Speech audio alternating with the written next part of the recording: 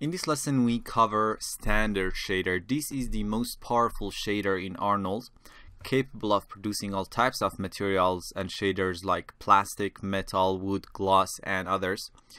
Now this is the scene we are going to be working with. Let me run the IPR and get out of the camera. We have an Arnold sky with the intensity set to 0.52 three area lights as you can see with different colors and settings.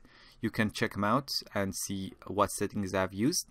We have this huge backdrop as you can see a sphere an abstract 3d object and a gloss geometry which is hidden right now. And let's get back to the camera. Let me show you the render settings also. I haven't changed my sampling at all. All of my ray depth values are set to 2 uh, also, we come back here and change them if needs be. First of all, let's create a standard shader from your material manager. Go to create menu, Arnold, surface and click on the standard shader. Let's apply it to our sphere and our abstract object. As you can see, the material preview for the standard shader we just created is block that is because we have IPR running and as soon as I stop my IPR we should be able to see the material preview. Let's run IPR again and open up the newly created standard shader.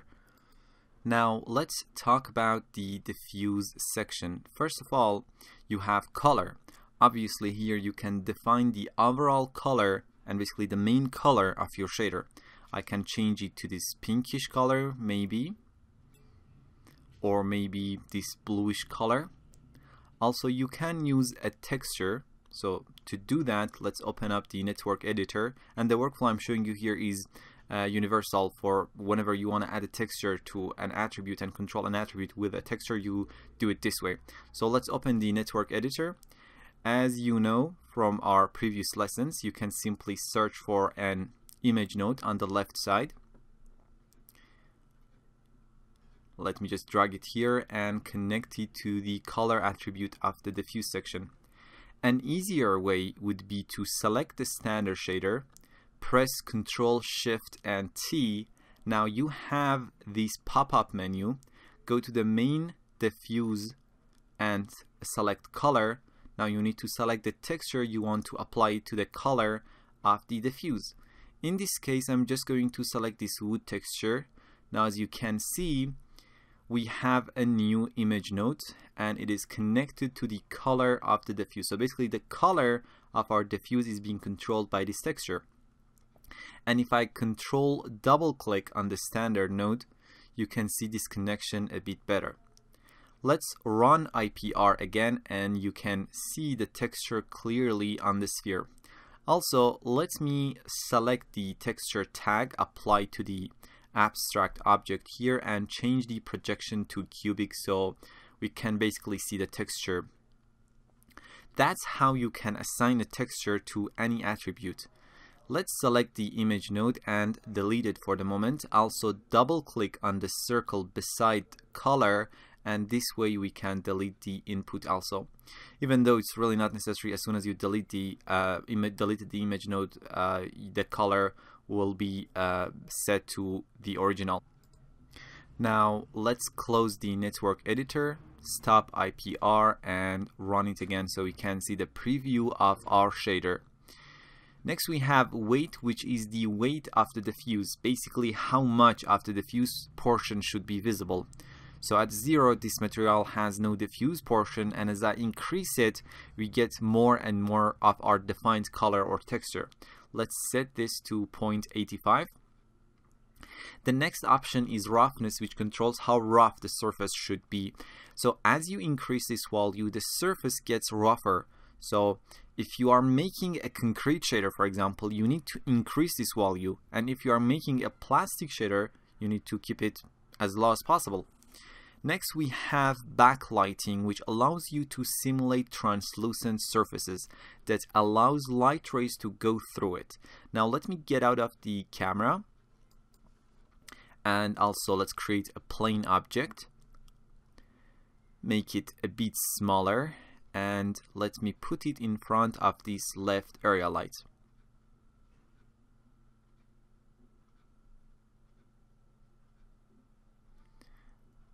Now let me move the camera a bit. Just uh, change its size also. And now let me apply my standard shader to this plane. And as you can see, as I increase my backlighting value, you can see we are allowing more light to pass through this plane. Now to see the effect a bit better, let me connect a grayscale texture to the backlighting attribute. Open the network editor again. On the left side, search for an image node. Now drag it here. Let's load this texture called Windows. You can see where the texture is black, the light can't go through and where the texture is white we can see the light source uh, behind the plane really clearly now let me delete this image node zero out the backlighting and also delete this uh, plane object now let me get back to the camera then we have this option called Fresnel effects diffuse so whether the Fresnel gonna affect the diffuse or not. Basically, Fresnel effect states that the strength of reflections on a surface is dependent on the viewing angle. When you look at a pool at, at an angle, you see more reflections, and if you look at it directly, uh, there would be less reflections from above. I mean, when you look at a watering pool, you see uh, the water much more clear, but if you look at it at an angle, there would be tons of reflection. Now we talk about this more in the specular section, but here to demonstrate the effect of the Fresnel effects diffuse option, let me increase the weight of the specular to about 0.2 and turn on the Fresnel effect on the specular channel and increase the reflectance at normal to 0.25. No worries uh, about these options, we're gonna be discussing them later on in this lesson. Now let me show you two renders with and without Fresnel effects diffuse enabled. In the picture viewer, uh, in this one, Fresnel effects diffuse is disabled and in the second one it is enabled. The effect is very subtle in this case, but if you take a close look at the sphere and compare these two renders, at the one that is enabled, the diffuse contribution of the shader is more apparent at the edges and less apparent and at the frontal angle. But uh, at the one that is disabled uh, the diffuse contribution is evenly distributed. Now let me zero out my specular weight and reflectance at normal and turn off Fresnel so we are back where we were then we have extended controls for our diffuse section. The first one is direct diffuse scale, which is the amount of diffuse light received from direct sources only. As I decrease this value, we are decreasing the effect of our direct light sources on the diffuse section of the shader, and the illumination you see on the shader right now is from the indirect secondary rays which is being controlled with our indirect diffuse scale down here. If I zero out this too, we should see no diffuse contribution at all for this shader. Now let's increase our direct diffuse scale to 1 and now only the direct light sources affect the diffuse section of our shader. You can have these values to be more than 1. For example, let me set my indirect diffuse scale to 2 now our indirect light sources will affect this shader twice as before. Let me set them to default values. Also let me zero out the diffuse weight and open up the specular section. Specular is direct and indirect reflections that can be mirror-like or blurry. Uh, we call the blur reflections in Arnold glossy reflections the first option is weight, which controls the amount of reflection you want on the surface. As I decrease this value, there uh, would be less reflection, and as I increase it, there would be more reflection on the surface. Now, there is one very simple rule you need to remember. The overall weight of diffuse and specular should not be more than 1. So if I increase my diffuse weight, I need to decrease my specular weight to 0.3 to compensate for that. But if we have Fresnel turned on on our specular, uh, section, we can bend this rule a bit. Let's decrease the diffuse weight and increase our specular weight to 1. We can control the color of the reflections and specular reflections. Let's select this red color for example. Now as you can see the reflection color has changed. I also can connect a, a texture to be used as my specular color if I wanted to.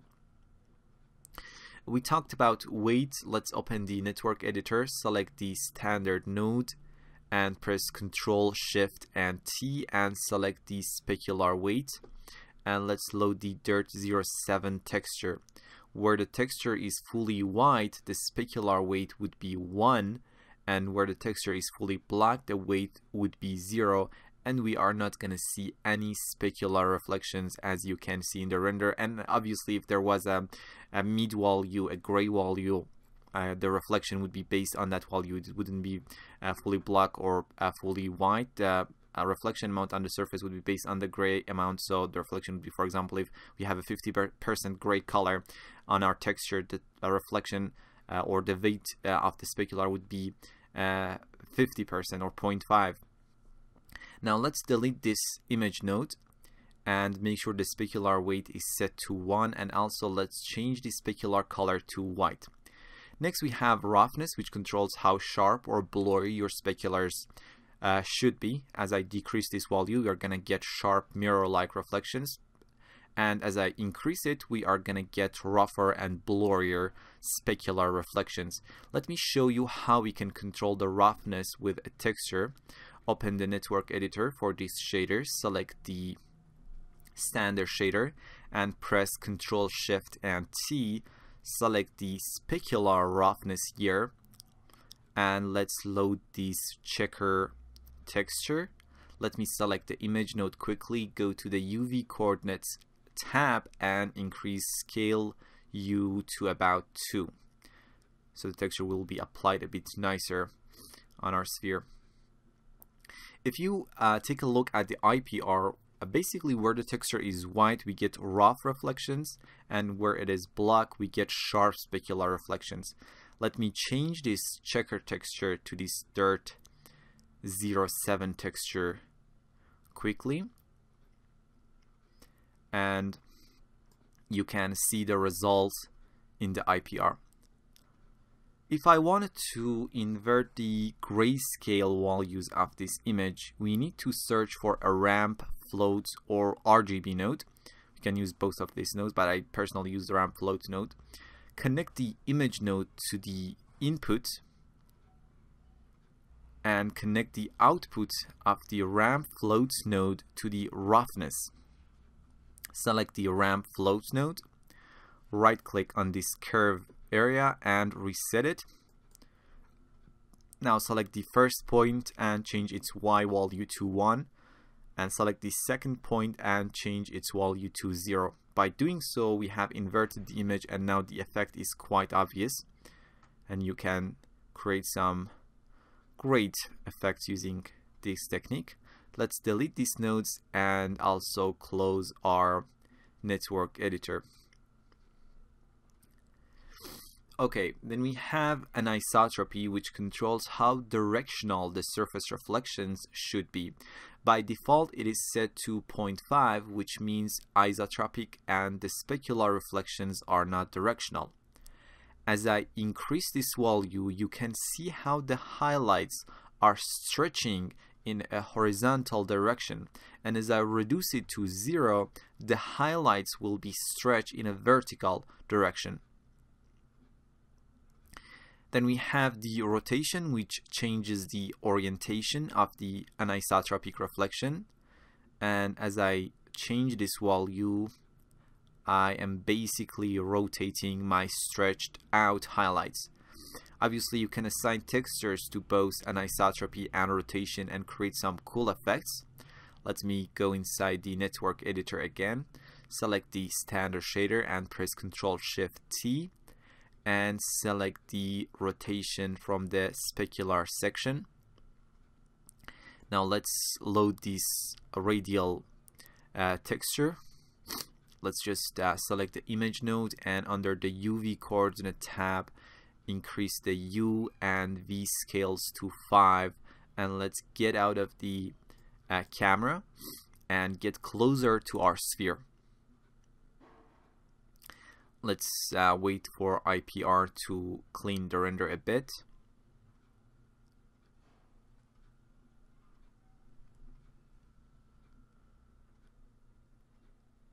Now we get this beautiful circular anisotropic effect that would be impossible to create without using a texture.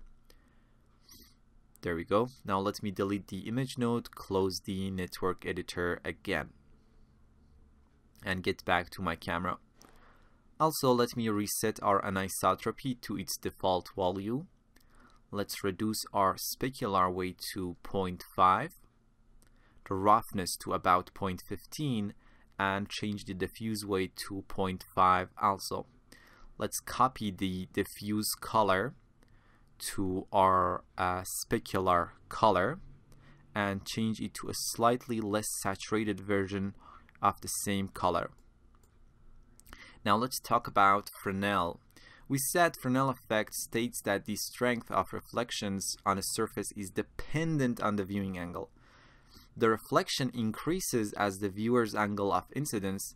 Let's enable the Fresnel. So if you look closely at the sphere, you can see the very edges are reflective and the frontal angles to our viewing direction are less reflective.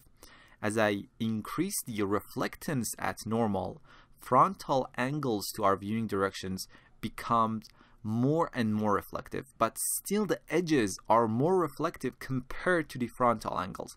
As you increase the uh, reflectance at normal, uh, more and more, you are basically making the Fresnel effect weaker and weaker, and the reflection become uh, the reflection basically becoming even at all viewing angles. So that is basically Fresnel. Let me zero out reflectance at normal and disable the Fresnel. Also, let's uh, change the specular and diffuse colors to white, zero out the diffuse weight, and increase the specular weight to 0.8 and the uh, roughness to about 0.3. So as you come down, uh, you can see we have some extended control like we had with uh, diffuse section. Uh, direct specular scale controls the amount of reflection received from the direct light sources. As I decrease it, the reflection of our direct lights become the reflection of our direct lights become less visible. Indirect specular scale controls the amount of reflection received from the indirect secondary sources. You can see the effect when I change this value. Now to stay physically accurate, keep these values at 1. Let's reset these two to their original values. Thank you for watching this tutorial. It was a free sample from our course Comprehensive Introduction to Arnold for Cinema 4D. Also, stay tuned for the second part of this tutorial.